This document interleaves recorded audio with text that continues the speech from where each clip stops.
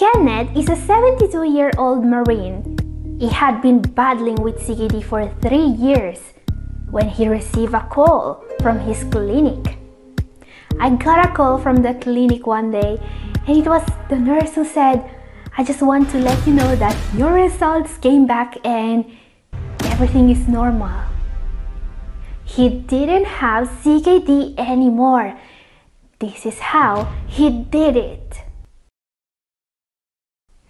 Katherine here, I've been working with people suffering from kidney issues for more than 10 years now. And you know, it's always a great joy for me when one of you guys contacts me to share their success story.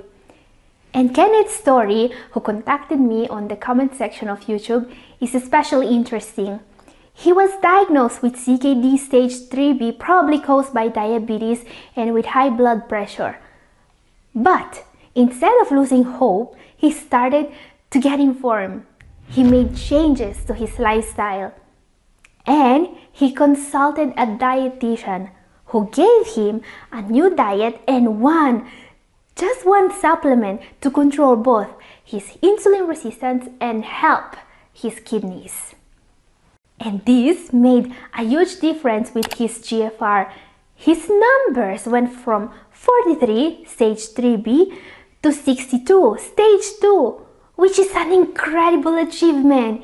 He has a GFR of 62 now, which will be great for someone his age, even for someone without any previous history of diabetes or CKD. But Kenneth had been battling with CKD for three years. This is why I asked him if he liked to be interviewed. So today's video is all about his journey and how he was able to go from stage 3B to stage 2 in just 6 months. We'll learn more about him and his journey today. And if you think this is interesting, consider giving this video a like. Let's start now. Kenneth, can you tell us a little bit about your story? How did you find out you had kidney disease? Well, now, about three years ago, I got myself a surprise that I never saw coming. Found out I had CKD. I went in for a routine checkup and had some lab work done, and my doctor, a military physician, called me when the results of the lab came back. Now, in my experience, a call from the doc is never to invite you to a picnic. And he told me, Well, Kenneth, I don't know if you knew this, but you have stage 3B kidney disease. Hearing that hit me like a ton of bricks. It sounded awful. But it was unbelievable because I didn't have any symptoms that I was aware of and I always had my diabetes under control. Yes, that sounds really scary. Thank you for sharing with us. But you are better now, so tell us what you did to improve. I bet my public really wants to know. Well, first, I asked the military physician. I asked him straight up, what can we do about this mess? And he says to me, Kenneth, there ain't a whole lot we can do, but we can do some things to sort of slow it down.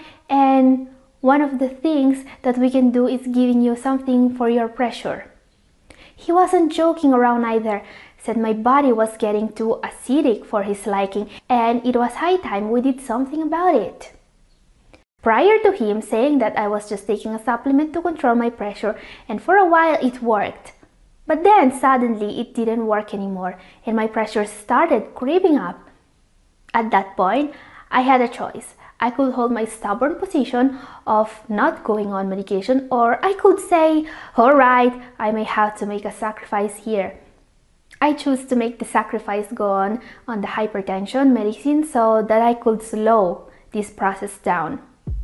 Until I found something that will be more in line with the way I like to take care of myself.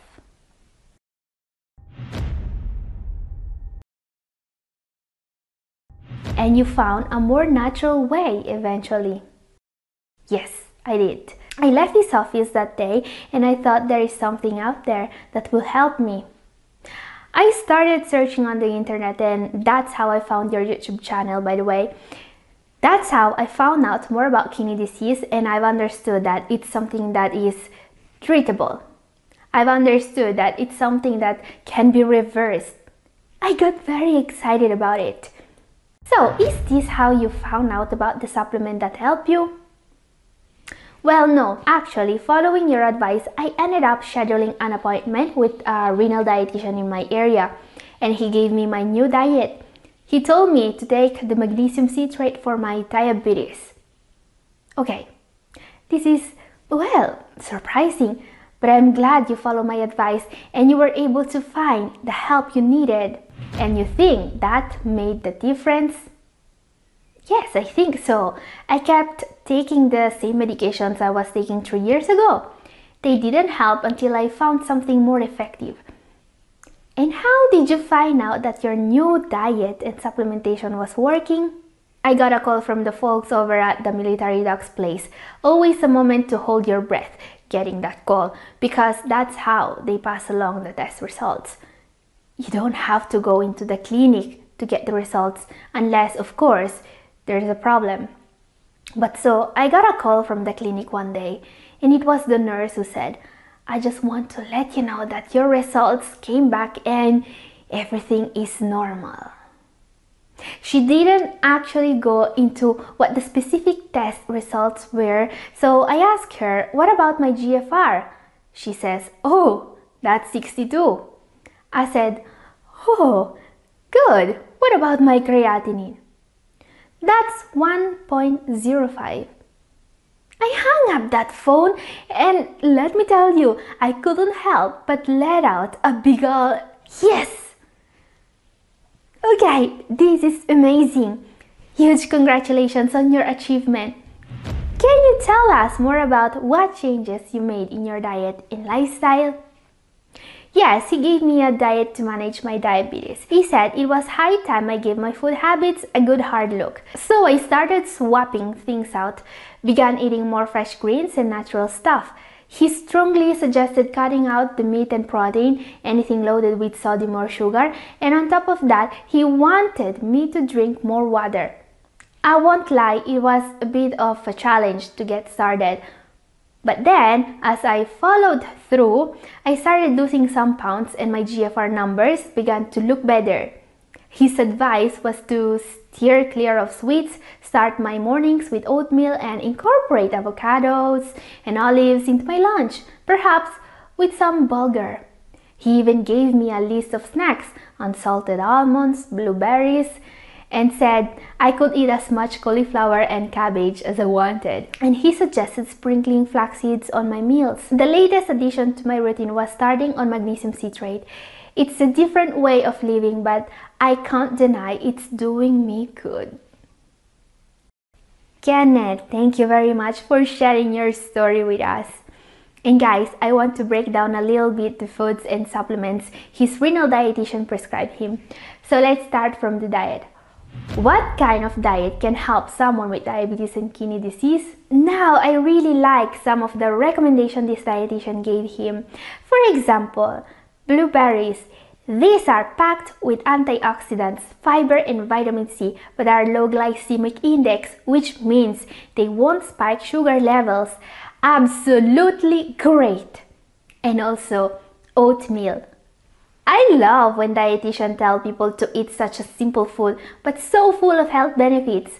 Whole grains are high in fiber and can definitely help control sugar levels. They also contribute to a feeling of fullness which can help maintain the right weight. Oatmeal also comes with a less known benefit. Oats are rich in beta-glucans, a powerful soluble fiber. Beta-glucan partially dissolves in water and forms a thick gel-like solution in your gut. Great to get rid of extra cholesterol and even some toxins while helping your gut health. A bit like acacia fiber but on a smaller scale. However, oats may even help reduce sugar levels and they are a great breakfast. And I see that his dietitian also told him to eat avocado. I know that this may be still controversial for some, but today we know very well that if your potassium levels are not too high already, eating bananas, avocados, and potatoes will not make a difference about that. And eating avocado also comes with several health benefits. Avocados are rich in vitamin C, E, K, and B6 as well as riboflavin, niacin, folate, pantothenic acid, and magnesium. They truly are nutrition powerhouses. Avocados are also so rich in antioxidant and anti-inflammatory compounds, they can protect from oxidative damage, which is associated with the progression of diseases. Avocados are also very rich in a special type of fat known as medium chain triglycerides or MCTs. And MCTs are so healthy for the kidneys, especially in case of diabetes, that you can also get them in oil form to supplement your diet. Studies say they may improve insulin resistance and help overweight people lose weight. Now, before adding avocados to your diet, make sure they are safe for you. And I've talked more in depth about who can have more potassium and who should be careful in my video up here and also down in description. Another high-fat food that Kenneth mentioned are olives. Maybe not the easiest to find fresh, but if you can find them, olives are amazing. Just like olive oil, they have been shown to really help with insulin sensitivity. They have a substance called oleuropein which can help control your blood sugar levels after meals, especially if you have diabetes or insulin resistance. Yes, olives are great, just like olive oil, but with way less calories. Not to mention their incredible anti-inflammatory effect. Amazing! Now his doctor even recommended flax seeds. I love these small seeds. They actually come with an incredible benefit. Flax seeds are incredibly anti-inflammatory and this property can really help. Eating flaxseed regularly protects the kidneys, especially in those with inflammatory kidney disease. There are studies showing that flaxseed can improve GFR in this case, thanks to its impressive anti-inflammatory properties. And guys, I bet adding these foods can be beneficial for anyone, but please consult your nephrologist or your dietitian before making any change to your diet. However, this is not all. Kenneth also mentioned one supplement that, according to his dietitian, has made a huge difference. This is a special type of magnesium that some nephrologists are starting to recommend, which is called magnesium citrate. Question What's so special about magnesium citrate? Magnesium citrate supplementation could potentially have significant benefits for those with kidney issues for three reasons. First of all, there is vascular calcification, a common complication of CKD. This is linked to magnesium deficiency and anything that can help it is great. Keep in mind that having low magnesium can cause a cascade of problems, including a possible worsening in phosphorus levels and even in parathyroid hormone levels. Second, taking magnesium may be very useful for insulin resistance. Studies are linking magnesium deficiency, again very common especially in people with diabetes, to insulin resistance. It has also been observed that correcting magnesium levels improve insulin sensitivity and metabolic control in people with diabetes. And it's not all. Magnesium citrate helps with metabolic acidosis and that could be a huge help for people with kidney problems. Why is metabolic acidosis so important? Metabolic acidosis is a complication of kidney disease, especially common in those with diabetes, that's also known to make kidney disease progress faster. Managing body acidity, a job the kidneys are tasked to do, is a central point in managing kidney disease. The plant-based diet works also because it's way less acid forming than a regular Western diet. But for many patients, the diet isn't enough. Their body are still too acidic and they are usually given sodium bicarbonate. Now, magnesium citrate may be also considered for the purpose of controlling metabolic acidosis. So, we could consider it a sodium-free alternative to sodium bicarbonate. So, in my opinion, his dietitian discovered that they could have solved two problems with only one supplement magnesium deficiency and metabolic acidosis, which could be amazing because, as we have seen, correcting these two issues can make a huge difference. Now guys, I also want to let you know that while magnesium citrate seems to have really helped Kenneth, it's not a magic pill. And while magnesium is usually safe, I would recommend to work with your nephrologist and have a red cell magnesium test to see what your magnesium levels are. As long as you don't have issues with magnesium levels, you shouldn't have problems with supplementing it. Okay guys, if you want to know more about how to manage diabetes, this video up here is for you. And this is all for today. Thank you for watching. God bless you all.